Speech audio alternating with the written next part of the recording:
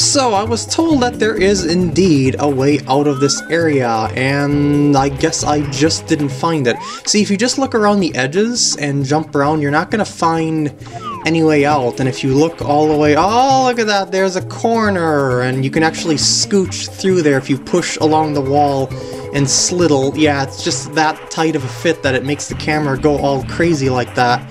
And yeah, so there is indeed a way out of this place. It's just that when I looked through here the first time, I was going around the perimeter like this, and I just didn't find anything. Because if you just push against the the wall like this, you aren't going to be able to tell that you can scooch through there unless you hit the corner just like that. And uh, apparently, I didn't do that. well, anyway, hello everyone, and welcome back to the walkthrough. It's kind of sad that I had to do that 100 coin star twice because I didn't know about that, but alas, sometimes mistakes just happen. Anyway, the next world is right here. And depending on how you enter this world determines the water level the world starts out with. So if you enter the world at its lowest spot in the painting, like I'm going to do here, the water is going to be at its lowest part. The reason why I'm going to start at the lowest level is so I can show you around the level, basically. This is Shocking Arrow Lifts. And see these platforms, these would normally float, and there's a Skeeter enemy. It's a pretty quick little enemy that scoots along water, and somehow managing to fail hitting it despite it being stationary. and uh, these are the things that control the, the water. This prism-like thing. I don't know what it's called. It's some sort of crystal, but you hit it, it makes the water rise. That's how it works. And you gotta work your way up to the arrow lifts, which are further up. As I said, I'm only starting out with the water level at its lowest because it's just easier to show you the level that way. So, yeah. to just give me some time while I get this set back up here. This is how you would navigate the level, basically. And here's a, a new enemy that you haven't seen before. This is a heave-ho. They throw you up behind you. Whoops, I wasn't close enough to the edge there. they try to hurt you like that, but you're actually supposed to use them to get to higher levels, and that's what I'm trying to do here, like that. Oh, and those uh, orbs that shoot fire are quite literally known as flame orbs. Uh, these things uh, right here. Yeah, those things. Just thought I would mention that, because I don't think I mentioned their name either. But Anyway, what I'm trying to do here is go over and raise the water level at this spot. Oh, I guess I can't get up there no that. That's a bother. I forgot how to get up there. This world is not one of my favorites, so I'm probably going to be very much out of practice playing this world because of how I, I just am not that much of a fan of this world. uh, it's just because of the annoyance of it. It, it feels a lot like um, the Water Temple of Ocarina of Time, though maybe not to that quite extent. Uh, this is probably too high, actually, but that's fine. I'll be able to move the water water level to the height that I want to if I go over to this one right here. So now I'm going to flop it down to this level, like so, and now I have access to the Shocking Arrow Lifts platforming puzzle here, because these platforms are at the right height and we are not in water. See, I can't hit that box over there unless the water is at the right height, because you can't, you know, jump to hit boxes underwater. Okay, as for this amp, it seems like it's pretty dangerous, but just, just ignore it. Just completely ignore it. Even if it hits you, just ignore it, and you will be much happier that way. and with that, hit the box, get the star, get out of here. Voila! Yeah, the uh, elements of Wet Dry World just don't feel all that good for a platformer per se, which is why I'm not really that much of a fan of it. Anyway, now I'm going to show you how to ent- I mean, I'm going to show you the difference of entering the painting at a higher spot. Oh, that wasn't too high, but you're definitely going to see a difference in the uh, the water level here. This is top of the town, and there's another um, water level razor. Oh wait, I thought there was. Oh right, this this leads to that spot. Okay, I forgot about that. Now I'm starting to remember stuff. That is delightful. And yeah, you're supposed to use these platforms to get to that, but I did it the totally opposite way I was supposed to, by raising the water and then moving it back down using that one, the last one. So I kind of did that improperly, but yet this game is so open-ended that, in all honesty, it doesn't really matter all that much. So yeah. As it says by the name of this, we are going to the top of the town. And to do so, I... Oh, uh, normally if you want to get up there uh, without using the switch on the other side, you're supposed to push this crate over to this platform, and then you can raise the water level over... Eh, eh, what the heck happened? What happened there? Come on, Mario. One, two, there we go. I was gonna say, why aren't you buckling your shoe? And whatever. There's a half off the texture shadow. And our objective here is to go around this way. Oh, here's a new enemy. This is a Chuckya. They try to throw you off the edge, and they will throw you like Big Bob-omb will. Uh, if you want to kill them, you gotta go behind them, just like Big Bob-omb, and throw them on a solid spot, and they'll be killed and drop a bunch of coins. Anyway, now you've gotta go up here. I don't like you, camera. You are sometimes terrible. What if I were to go to Mario Cam? That might be a little bit better in this case. Yeah, I think that's a little bit better. A lot better, actually. Ah! Yeah, I got some spinning. I did that, seriously. That is what I did here. That's that's the thing that I did, of all things. That huge platform I managed to fail to jump on. That's what I did, huh? I just just gotta accept it and move on, I suppose. Come on. Come on. There we go. You can't, like, grip onto this plank either. That's why I kind of had issues getting on top of it. Alright. I hit the shoulder button by mistake.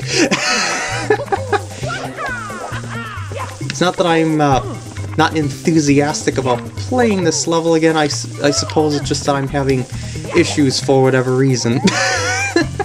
I'm not trying to rush or anything here, it's just I'm making uh, mistakes, is what I'm saying. Come on. Come on. Alright. There we go. Now I gotta shift the camera around. Good. Woo! And there's the star you're looking for. That just took way too long. I mean, I should say it took much, much longer than it should have by any means.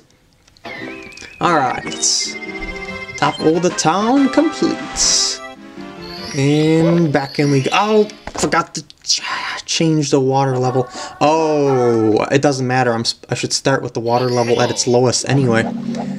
Uh, Secrets in the Shallows and Sky. This is one of the reasons why I'm not too big of a fan of this level. Um, you know how when you have to hit those red numbers that are hidden around certain areas? Oh shoot, this isn't the one I'm looking for. Well, this is that kind of level, except you have to push certain boxes at certain places, and uh, it also hits certain exclamation point boxes to make the numbers appear. And I'm probably going to suck at finding which ones they are. because I kind of forgot which ones they are. Yeah, I don't think these contain any red numbers. So I'm, yeah, I thought so. Uh, around these edges, though, there are a couple of boxes that you can push into the wall, like this one right here. Uh, please don't get in my way, Heave-Ho. There's one of the red numbers. Uh, the other one I'm thinking of, you go... Camera is right there. There's number two. Over here is number three in this box, I'm pretty sure. Yep. Uh, I don't remember where the last two are. I think the other, one of them is way, way up at the top. Um, well, I'm to scout where these blue coins appear before I uh, do the 100 coin star. Okay, just around this edge. Just thought I would check that out ahead of time so I don't uh, um, mess up on that. By the way, there's a little logo on the side of that thing. I, I never really took the time to read that. Hold on a... Oh, I was going to pause so I can see what it looks like, but it, it actually zooms out the camera. Uh, what does it say? Uh, I think it says Koopa backwards on this side, so it's probably a mirrored image. Yeah, it definitely says Koopa backwards, okay. And it's got a little picture of Bowser on it, so clearly Bowser made this. Bowser is in charge of making the heave-hos, apparently.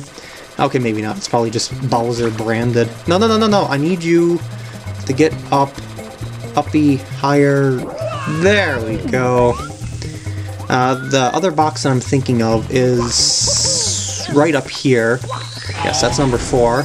And mystery of Mystery is of what dry, and where does the solution lie? The city welcomes visitors within the depths they bring as they enter. Oh, that's hinting at the painting, that if you enter at different levels, it will uh, give you different heights of water, just to speed things up. You don't need to enter the painting at any specific level, but it certainly makes things ha uh, handier. Is this the last one? Yes, it is! Okay, so I guess that wasn't as bad as I remember it. Hmm. Maybe this world isn't so bad after all. I remember, uh, I mean, I, am having a pretty easy time with this world, so hmm, maybe it was just my initial uh, impressions, oops, of this level that I had that kind of skewed my future thoughts as to how this level really is. You know, that, that first impression that kind of sticks with you, but hmm, yeah, I guess this is okay uh, overall. So, anyway, here we are. I can jump up there, can't I, from here? I think I can. Nah. I'm not Thomas the Train, apparently. Oh, I gotta use this platform. Well, I, I could use this platform. I think I'm able to jump up to that edge the other way. But anyway, oh wait, what's in here? Oh, coins. Well, there's the star. Woo! Here we go! Sweet! Alright, um... Let's see what the next one is. I forgot to... I keep forgetting about the water level. Express elevator, hurry up! Um, I think that's that cage right at the beginning, actually. So I'm gonna have to work my way up there with the water at the lowest level, I think. Oops, wrong... Wrong crystal again. There is a bunch of these crystally thingies around there. See that, that box concealing the opening? Um, if I break that, I'll be able to open that up a little bit ahead of time, because I think that's where I have to go. I'm just gonna scout this out. Eh, scout this out ahead of time here, just to see where I'm in, what I'm into. Oh, shoot. Because I think there is a thing up here that's blocking the star. Yup, okay. So, how do I get that down there? I kind of forgot. Well, I can use the heave-hos to get to the higher area, I know that. Come on. Up we, up we go. There we go. No, no, no, no, ah! well, that's sort of unfortunate, but, eh, well. It just kind of happens sometimes because you can't see what's up there. Uh, can I leave you somewhere that isn't by the other one? You know, just so I'm not killed by the other one unexpectedly. Come on, wind yourself up. Let's go to this side. No, no, don't you stop it. T turn where I want you to turn. There we go. I hope the other one isn't nearby. Okay. That worked out. okay, now over here is what I think I'm supposed to do. Thinking isn't knowing, though, so I guess we're about to see. Okay, you get on uh, this. I... What? Oh, there it is. There we go. It was one of those two. then you go... Oh, no, no, no, no. Down, please, Mario. Oh, freaking... okay, I should probably get... Let this elevator go down and get myself in position. Wait, how does this even work? Look at this. That pole that's connecting both of them is going through the cage. Uh, I probably shouldn't question the game logic. okay, let's get down here quickly. Wall kick. Oh, shoot! No! No, you don't! Okay. a little worried that I wasn't going to make it in time.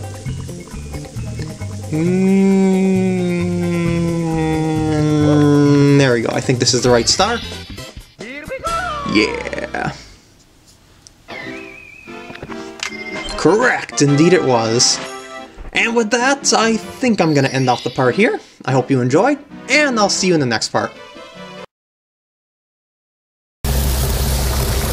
Oh! No! Because I questioned the game logic again, the universe is imploding again!